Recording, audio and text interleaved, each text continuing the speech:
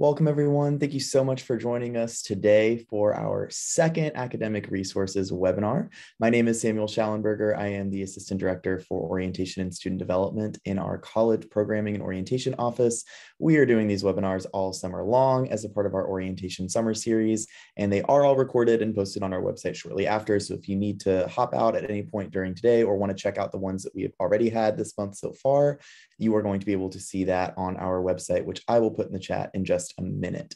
Um, today, we have our College Center for Research and Fellowships, as well as university libraries here with us, and several special guests here speak all about them. If you have any questions, feel free to throw them in the Q&A function. We will be tackling those at the end of the presentations today, and we will be able to also type some answers. If you have really specific questions you want answered before you go, please make sure that you do not leave here with a question. And after that, I'm just gonna pass it on over to Nicole and Arthur from CCRF, and then we will get get onto university libraries. Thanks, y'all. Thank you, Samuel, and thanks to everyone for joining us. If you'll bear with me, I'm going to just share my screen and we will get started. So uh, as Samuel's just mentioned, um, I'm here with my colleague, uh, Dr. Arthur Salvo, to introduce you briefly and very briefly to the College Center for Research and Fellowships. Uh, hopefully our name clues you in about what we're going to be talking to you very briefly about, and that is undergraduate research and national fellowships. And I'm going to start by focusing on research, and then I'll hand it over to Arthur to talk a little bit more about how we support students applying for major national fellowships. So introduction to us, the CCRF is our acronym. You will get used to and familiar with acronyms as undergraduates at UChicago. We're going to talk about undergraduate research and as I said, introduce you to the support that we provide for national scholarships and fellowships, that is students who are interested in applying to those throughout their undergraduate career who we are in alphabetical order. And this is the team that comprises the College Center for Research and Fellowships. These are educators, a group of hardworking advisors. And I should note that all of us meet with students and support students in various ways in undergraduate research and national fellowships. Um, we are all um, scholars in our own fields and also benefit from the tremendous support of graduate students and undergraduates uh, who do contribute to the work that we do as well. So what do we do? Uh, this is our mission statement. You can find this more or less uh, expanded on uh, on our website, but shorthand, we're committed to academic excellence. And we believe that that can be accomplished in a variety of ways. But in our work, uh, we attach uh, that to participating in what we consider transformative educational experiences, initially and fundamentally through undergraduate research, but then in the context of nationally competitive fellowships, which actually come as a result of committing yourselves to academic excellence more broadly.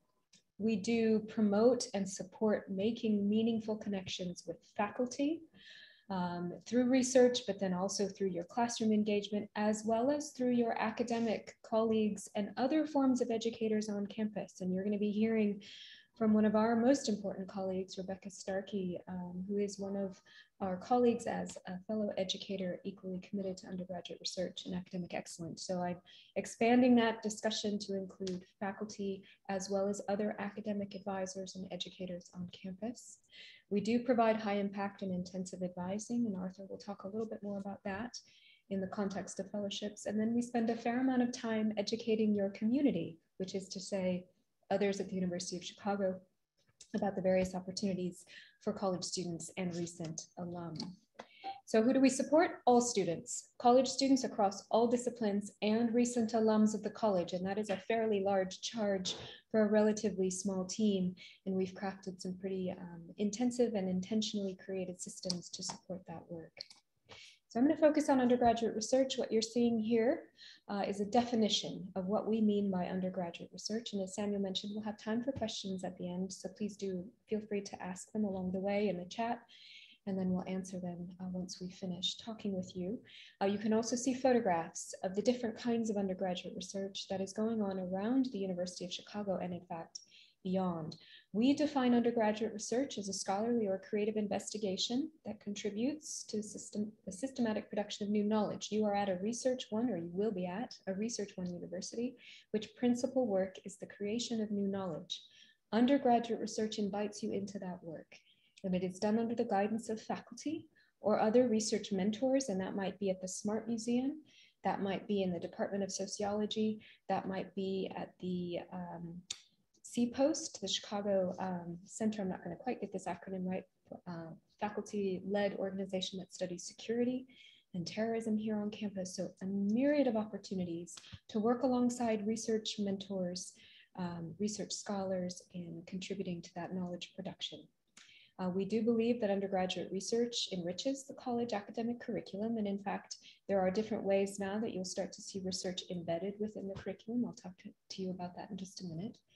And that it enhances the broader experience that you are going to have here at UChicago by introducing you to tools, to skills, to new ways of thinking, to asking good questions, uh, and to benefiting from essentially apprenticing to faculty who are in the thick of making that new knowledge possible and accessible more broadly. So that's how we define undergraduate research.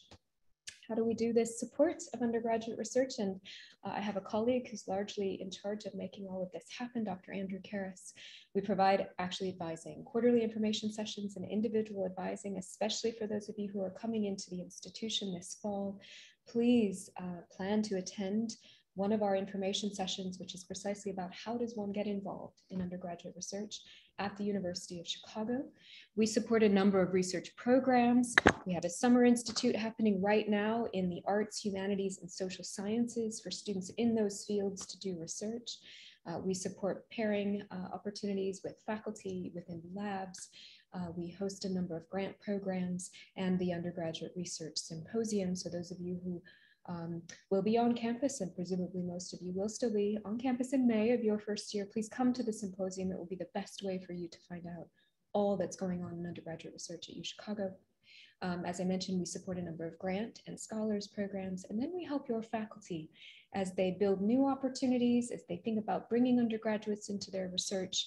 We help them in the departmental space as they do, in fact, design more programs specific to, to students who are in their fields or in their disciplines. So there's a constant growth in the work of undergraduate research uh, here at UChicago.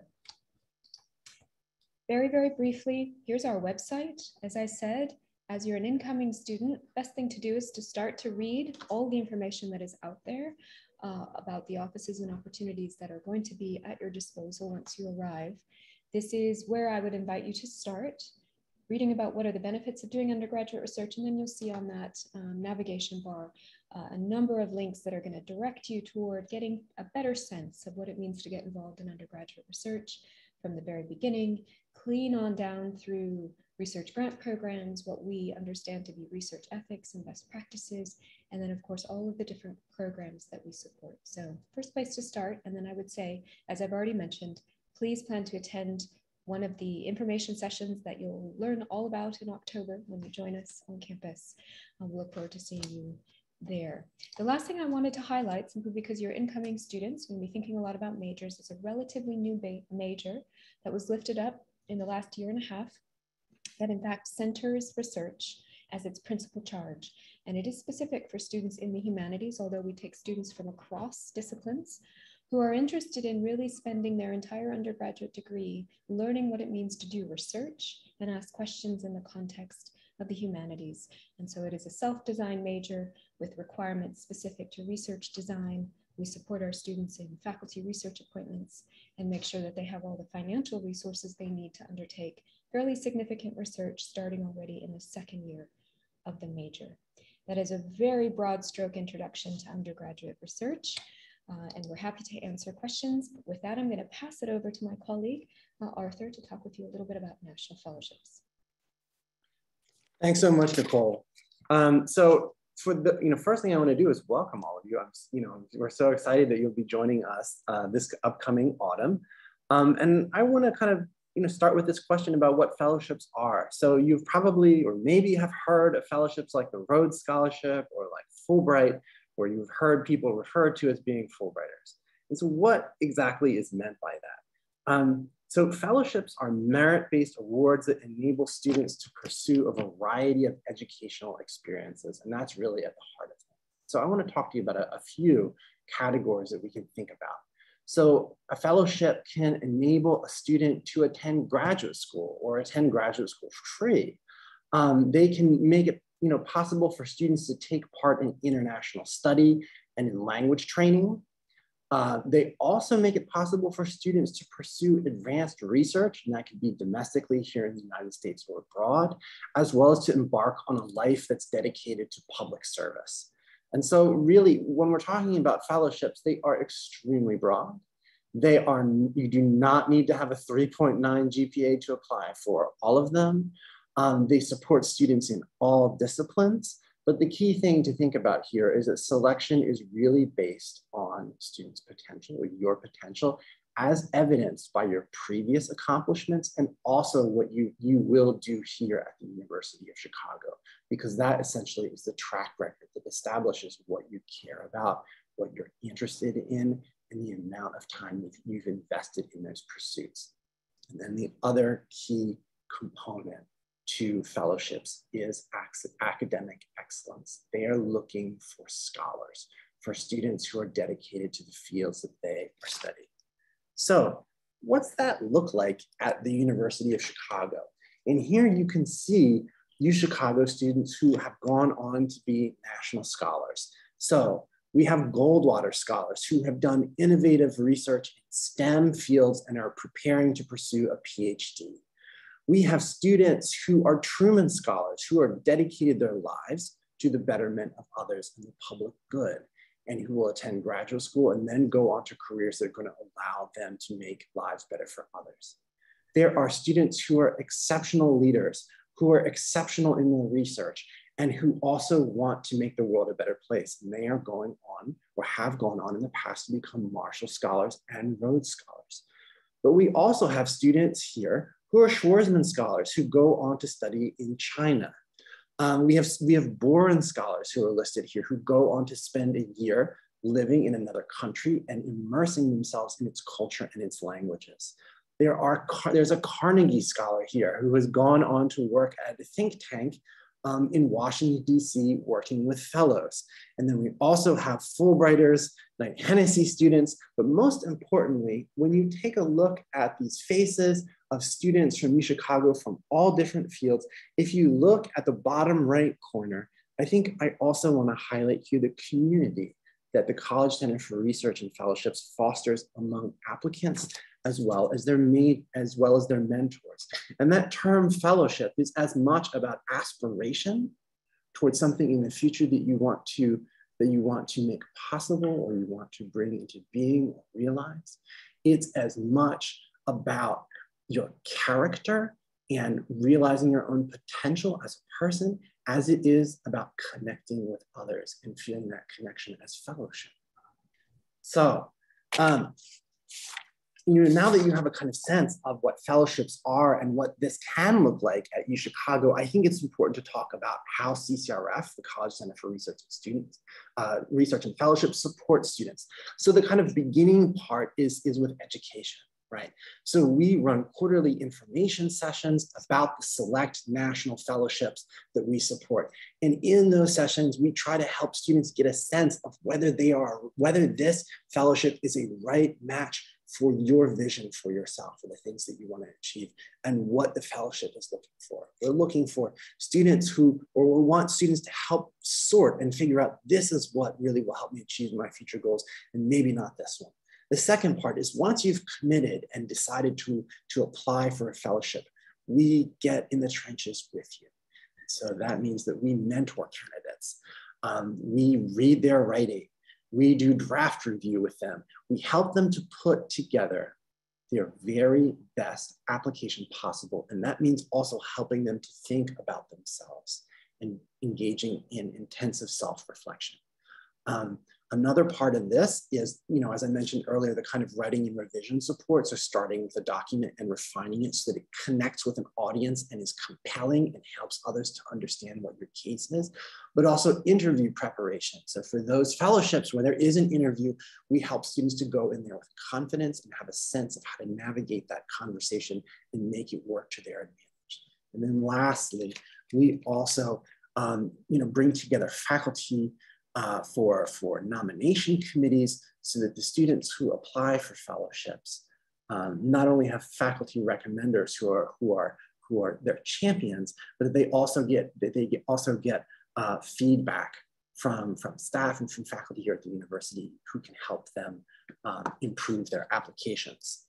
So, you know, if you're curious, and I really hope you are about, about the fellowships that CCRF supports, my first recommendation is you go to our website, ccrf.uchicago.edu, and if you click on national fellowships, there, there's a drop-down menu you can click on, on select scholarships and fellowships and see um, extensive profiles of the different fellowships that we support, what they're looking for, and you can start to map out, um, you know, you know, in which years you might be eligible and when to get started. So that's, you know, that's one part. Um, I think another is to think about, okay, I'm a first year student. I'm curious about fellowships. What are the things that I can do now as somebody who's just about to start to join the University of Chicago to put me in a great position to embark on this kind of journey. First thing that I can recommend is just like Nicole said for undergraduate research, participate in relevant CCRF info sessions. So on our website, we have these quarterly info, sessions as well as writing workshops, even if you are not eligible yet because you're a first year and you won't be until your third or fourth year. I would encourage you to attend because there is so much you can learn about what these fellowships are looking for or what they offer, and that can inspire different choices that you make. Right? If you're interested in something, you can um, you can make strategic decisions about the kind of coursework you take, the relationships you build. Next, I want to let you in on two different secrets. Secret number one you're going to arrive here at the University of Chicago in late September, probably, you know, or, you know, and things will start up in October, and you will have many different ways that you can spend your time. But you've actually got two jobs or two priorities. The first is to do the very best that you can in your coursework. And the second is to make it your job to develop a meaningful relationship with your instructors, with faculty, and yes, also with staff such as the library who can help you grow as students. These are your two key jobs and everything else attaches to that, but that should be at the center of your work here. The second thing is that now that you're here, the game has changed. So what got you here was likely the supposition that UChicago and other schools are looking for well-rounded students. And what that meant was you did the very best you could in the, in the most difficult classes you could take, and you took them all, and you probably had a lot of other commitments. But what's key for fellowships is not doing 10 different things in a, you know, in, in a distracted way, but stepping back thinking about what you really love, what sets your, your heart and your mind on fire, both academically and extracurricularly, and to go deeper in those things. So focus on your academic interests. If there's a class that you really love, take time to think about why it is you love about it and what it's meaningful and how to connect with those topics in further coursework. And if there are other activities you're engaged with on campus, my suggestion is not to do 10, but to do two or three really well and to go deeper because those are the experiences that are going to enable you to um, develop key skills that you'll need in the future. So to get started, I would suggest that you go to our website, ccrf.uchicago.edu and click on the info sessions, workshop, and series. For example, we have we will have Truman sessions coming up in July. And then at some point in September, you will start to see this page loaded up with all the sessions that we're going to be offering in autumn. And we're really looking forward to seeing you there and hope that you'll be able to join us. Lastly, before I send things over back to, to Rebecca, um, we are currently remote, and but we are we do have support that's available virtually. So there is our, our website that Nicole and I have both mentioned. There is the list serve that we would encourage you to sign up for. You will get the most up-to-date information regarding um, uh, uh, undergraduate research programs as well as fellowships that come out, and frankly, also stories about students and other opportunities that we hope that you'll connect with. Um, Nicole, I didn't know if you wanted to cover the workshops and info series regarding undergrad research. Yeah, and so just to reinforce what Arthur's saying about being remote, of course, we were all remote for two years, but one of the things I do want to point out is that actually our lives, especially in the summertime, was always remote. We have the privilege of working with students 12 months of the year. And of course, everyone is somewhere else during the summer. So we continue to support students by Zoom. Before Zoom, it was Skype. So we are all hands on deck in the summer and really do welcome the chance to connect and support students across the duration of an academic year, which for us includes the summertime. So when we say remote, that's what we mean. But in the fall, happily, we will all be back in person and a lot of our sessions will be available in person. Uh, we also have a resource library, which we didn't mention, but that's where all of these recorded sessions live. You could listen to um, dozens of things to your heart's content. But uh, specific to undergraduate research, as I mentioned, every quarter we have an introduction to undergraduate research, how to get started, in the wintertime, we offer sessions on how to secure grants. In the springtime, we're getting students ready for the symposium. How do you present your research? How do you disseminate it productively? Uh, and so all of these things will be, as Arthur said, up on our calendar. Um, actually, in the fairly short order, by the end of July, you'll be able to see a pretty good, pretty good menu of what's coming during the academic year of 22-23 think that's it for us for now. We're going to pass it on to Rebecca and then jump back in and answer specific questions at the end. Hello, everybody. I'm really happy to, to meet with all of you today and to talk a little bit about the library, um, which is another great resource for you to use um, and prepare for some of these academic uh, experiences and research experiences when you're here at the University of Chicago. So let me share my slides. Okay.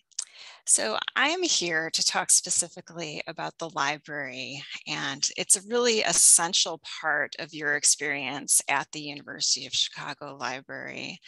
And I know many of you probably have seen um, some of the campus libraries either on a tour or um, perhaps you've explored um, videos online. And we have six campus libraries that are open to students, um, and each one of them has their own focus and specialties. Uh, most are popular libraries on campus, and most of the ones that you're probably familiar with are the Joe and Rika Mansueto libraries, which are shown here, and it's on the left. And then the other library is the Joseph Regenstein Library, uh, commonly called the REG, that's shown here on the right. Um, but we have many other libraries on campus that have other needs. Um, our John Crerar Library is very popular with STEM majors, and um, some of our smaller libraries are popular with students like Eckhart, which provides a nice quiet place to read and work on math sets. But the University of Chicago Library is really much more than a study space. Uh, the library is where you can go to for the materials you need for your coursework and assignments throughout your time at the university. One of the first things that you're likely to need from the library are course readings. And for many classes, you can access your readings directly through Canvas, which is the online course system. Most items will be available online on e-reserve, meaning that they're available right there and then.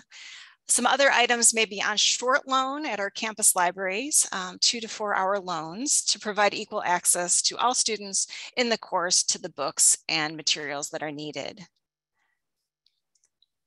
If you're looking for textbooks for your course, you can check the library catalog on our website to see if the book that you need is held by the library the catalog will tell you where the book's located and if it's available for you to check out.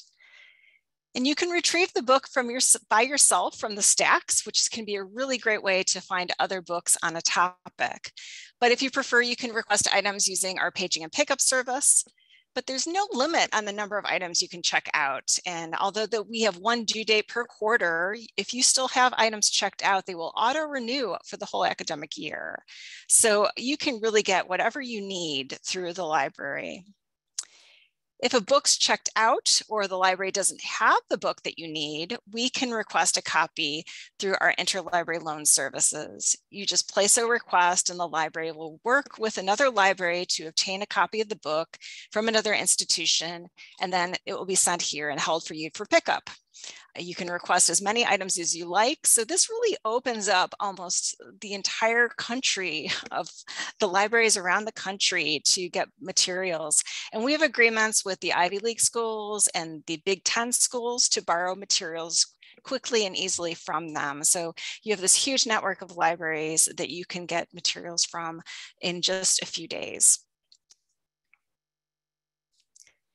If you need just a chapter or two of a book, you can take our uh, use our free scan and deliver service. And uh, that is a free service that will scan a couple of chapters of a book that you need and we'll do it for free. Um, it, we can't scan the entire book. Uh, there's copyright issues that prevent that, but it's a really great way to save time and money and um, you can just request what you want and we'll scan it and send it to you. In addition to the books at our campus libraries, and we have over 7 million books at our campus libraries, we, we also have ebooks. Um, ebooks are a great way to access our collections from anywhere, but each one has different restrictions on its use. So you may be able to download certain parts of it, or you may be able to um, download the whole book depending on um, which platform it's on. But we have lots of help available. There's a guide that you can turn to as well as our librarians if you have any questions. If you need academic journal articles for your assignments, you can use one of our many research tools that we have available in our database. Uh, some good places to start are under our quick links section that have um, uh, that you can just use to find different articles on the topic, uh, on a topic that you're interested by, or on a author that you're interested in, and we can you can just put in the title and search for the article. Um, so Articles Plus, JSTOR, you may be familiar with. These are great resources that you can use um, for uh, looking for academic journal articles.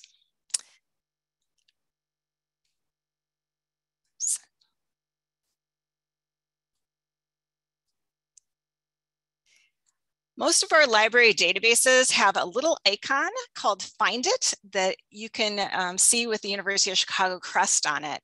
And that connects you to our different subscriptions that are available. Um, we subscribe to publications from various um, publishers and that Find It will connect you to where we have access. If there's an online version of an article, you can find that right on top. Uh, find it will direct you right into that article. If not, I will look in our print collection to see if there's a version that you can request through scan and deliver.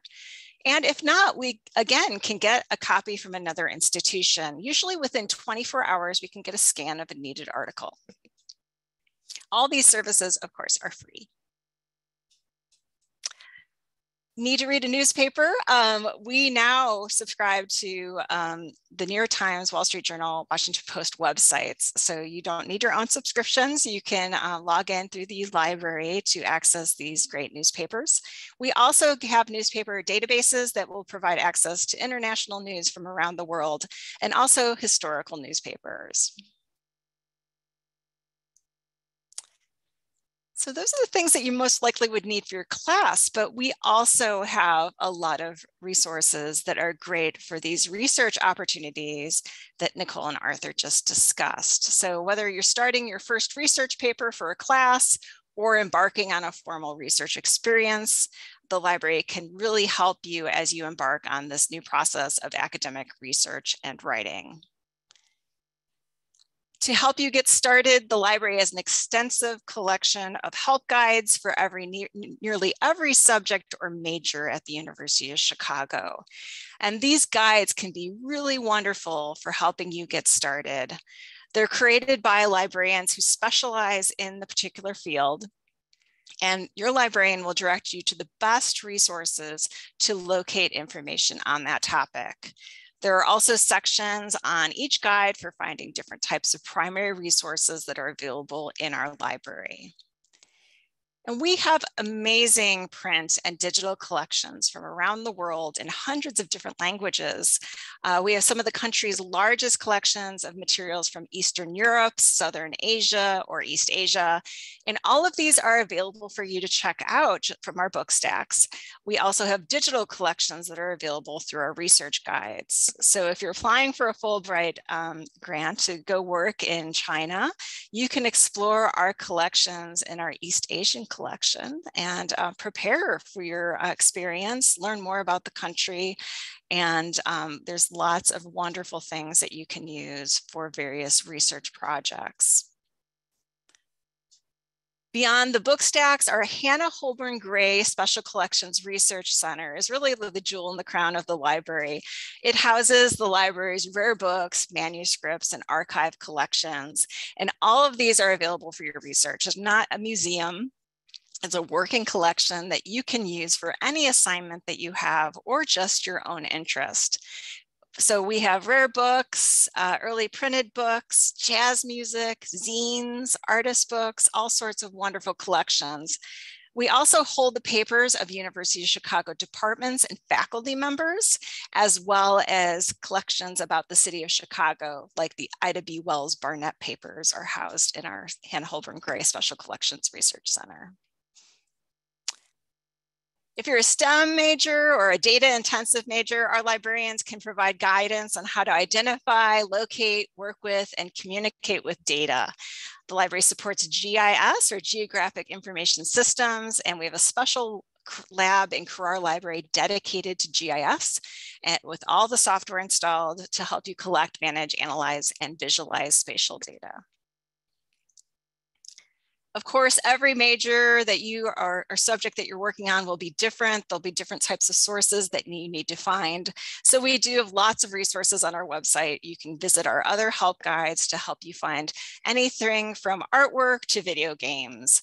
Uh, we also have guides to help you develop different research skills, like how do you cite resources. Uh, we have a great uh, software that we support called Zotero, which is a free resource that you can use to collect and organize and cite sources in your various papers or projects.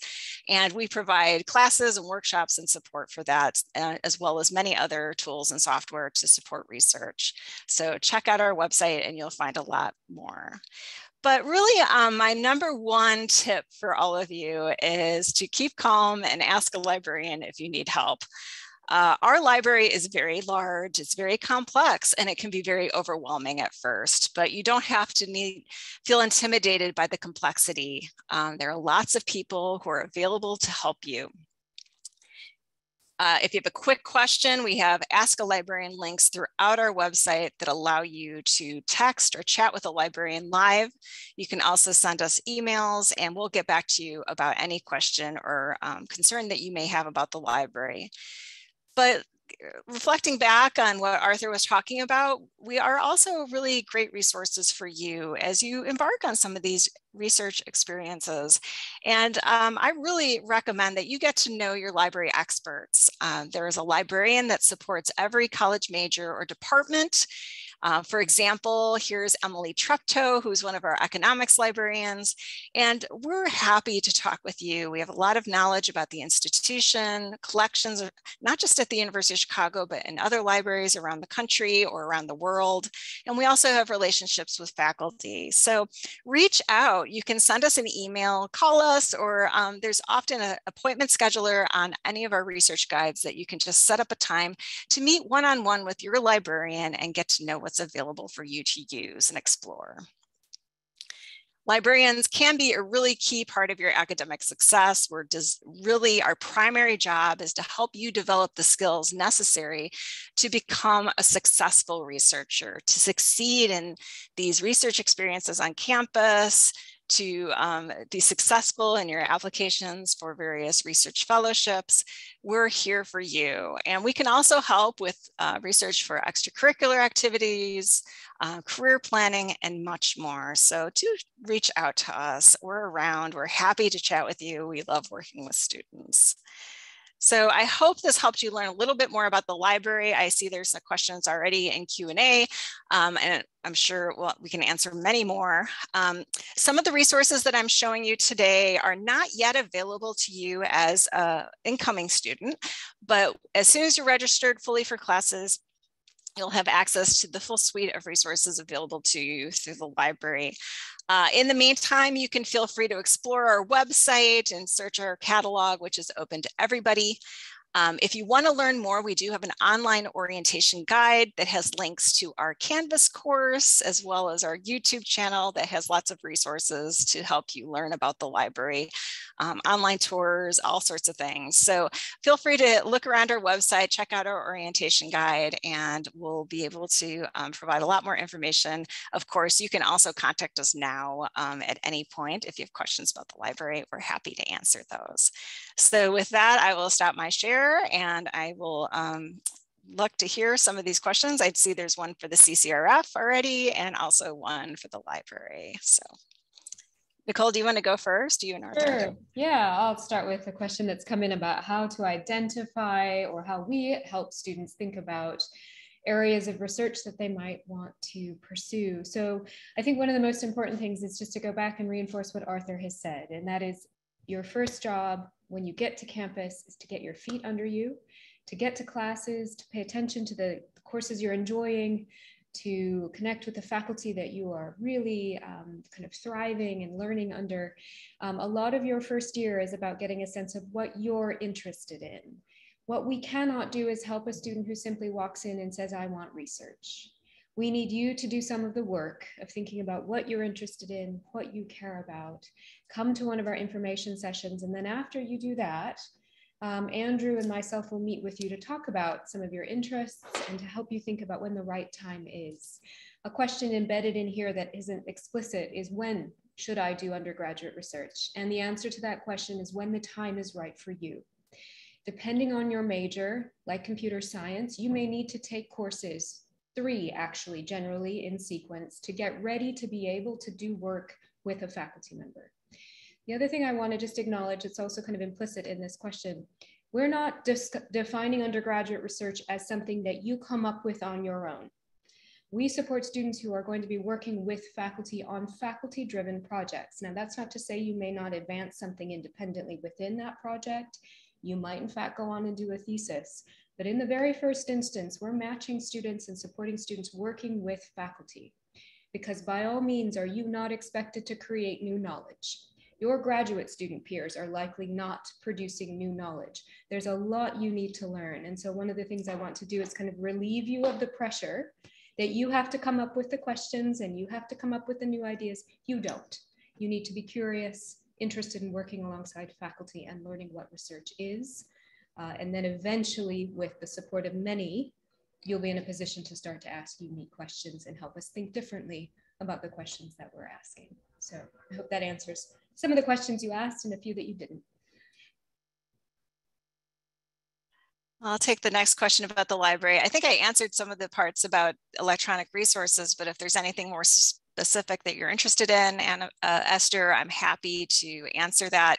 Um, in terms of ways that students can utilize the library that you that are surprising to them, I think that students are just not always aware of the great wealth of resources that are available through the library. Um, you uh, most of the students come in and utilize the spaces, but don't really utilize the resources as fully as they should. And some of that's just not knowing that they're there. Um, so working with our librarians to talk about what's available for various projects you're working on, or if you're interested in exploring research opportunities on campus and you'd like to do some reading or to see what types of primary sources are available that you might be able to work with hands-on, um, talk to our librarians and we will be happy to kind of showcase some of the resources that are there. Um, so I think asking a lot of good questions is it's helpful. Don't be afraid to approach. Um, we don't expect you to be experienced library users. We want you to come, ask questions, and we'll we'll help prepare you and uh, make use of what's available. It, our library is not just for faculty, and it's not just a study space. It is um, available for you. And um, it's amazing. Some of the projects that students come up with using the collections are amazing. Um, there's some things that uh, we are the only library that owns it perhaps in the world. And you might be the person to um, explore that source and write about it or um, present on it. So um, reach out and get some help.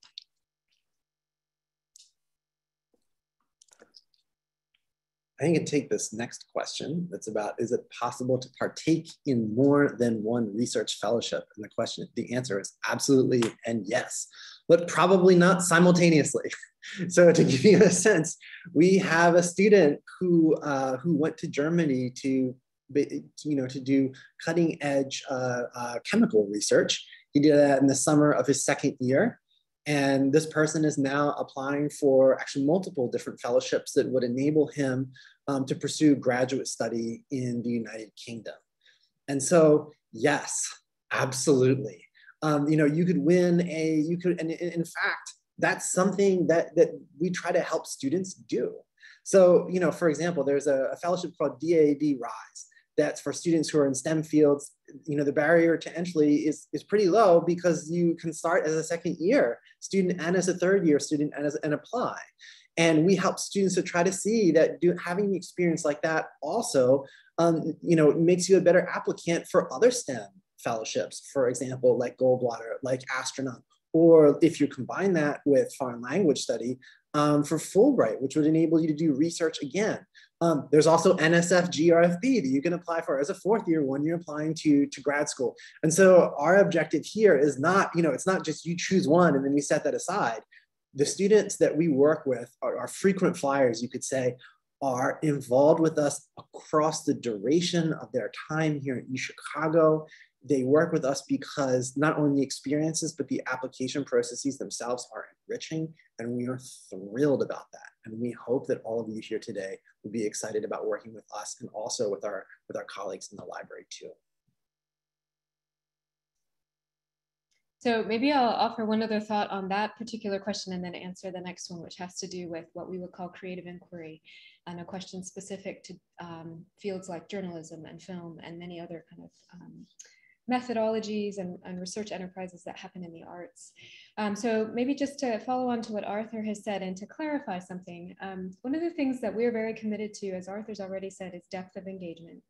So what we are also committed to doing is supporting you in working with one faculty member or one research experience, that is to say a mentored experience over a number of years. And one of the things I want to do now, and you'll probably hear us say this again, is to kind of invite you to separate academic undergraduate research from internships. You are actually being offered a very privileged opportunity to join a faculty member's work and one of the things you cannot think of exclusively is, is can I just do it for one quarter? Can I do it for even a year? Um, but rather be thinking about these as long-term commitments. And here's why.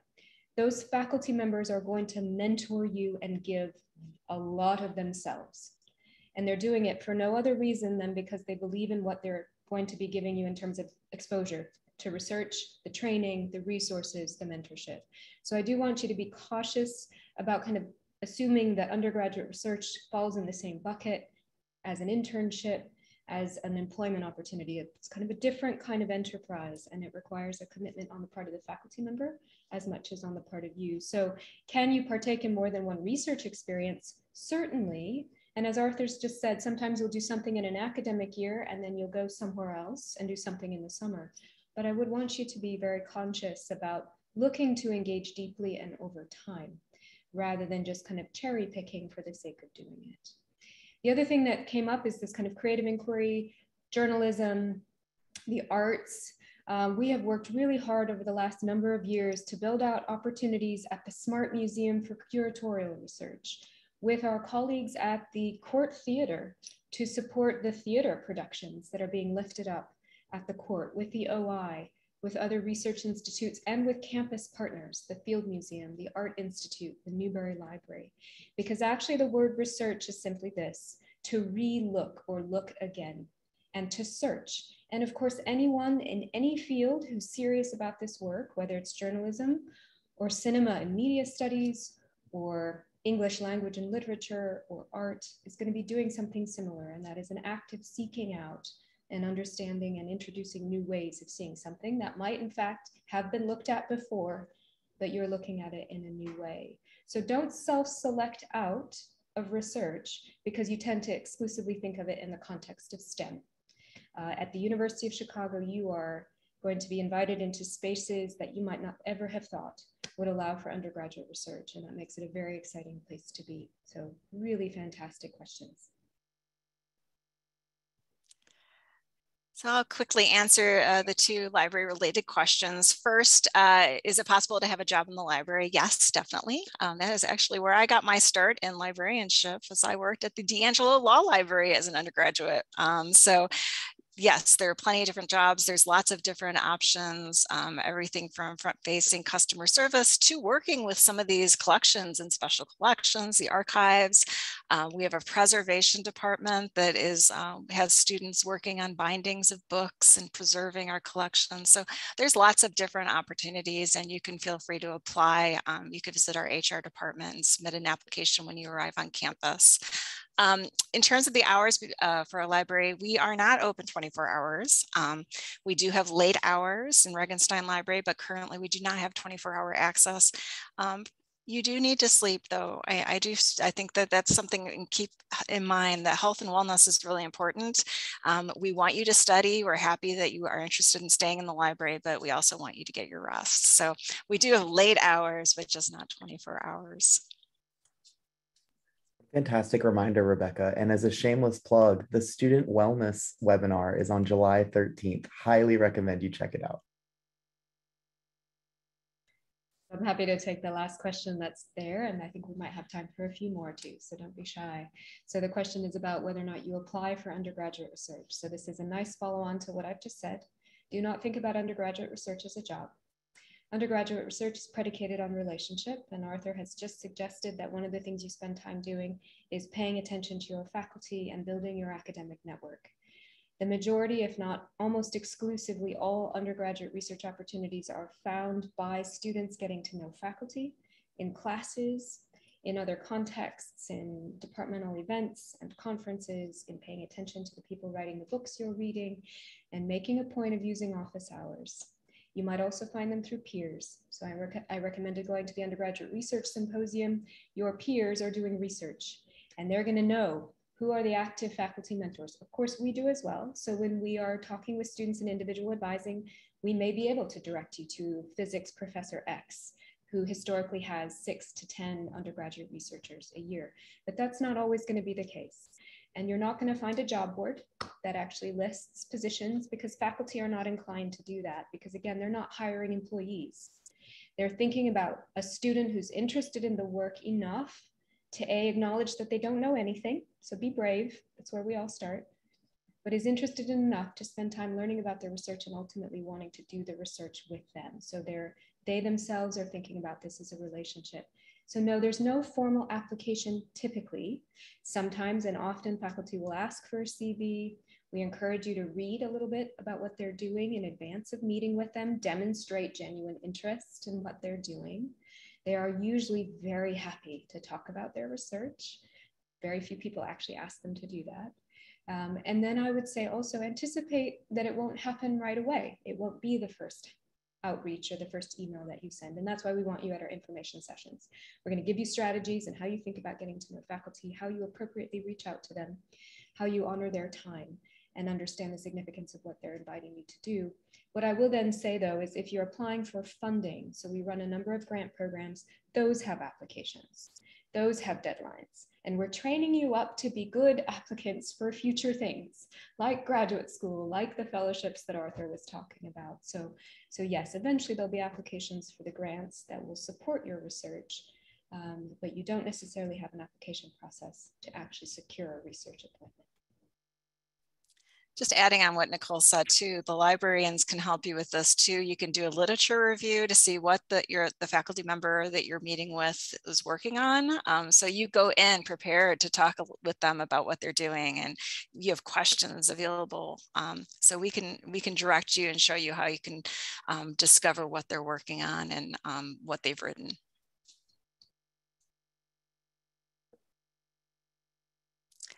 I see another question. What types of academic support does the library provide? Tutoring.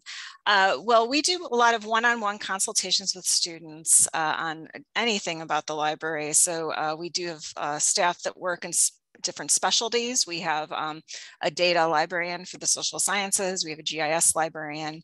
Uh, we have a librarian that works with digital scholarship. So if you're looking to do uh, text analysis or create digital projects, uh, you can consult with them. Uh, we do workshops and training sessions throughout the year. Uh, we highlight, uh, I've highlighted Zotero, which is a great tool to help you stay organized. Um, and really, uh, I think it's very helpful. I get a lot of, we get a lot of feedback from students on how helpful having a system for organizing all of their research documents is. So we provide um, instruction on those sorts of tools. Um, we, um, so it's more one-on-one often um, specifically about what you're working on. In terms of writing and language, there are other tutors on campus um, that the college could uh, talk more about, about the, the college tutors program, the writing program that provides um, support for students um, as well. We refer people all the time to our various campus partners and what resources are available to you.